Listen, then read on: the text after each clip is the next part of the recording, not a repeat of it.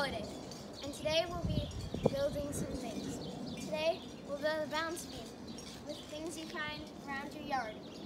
So I have two cinder blocks and a 4x4 wood panel. I'll start out by putting one side of the panel in one cinder block. And then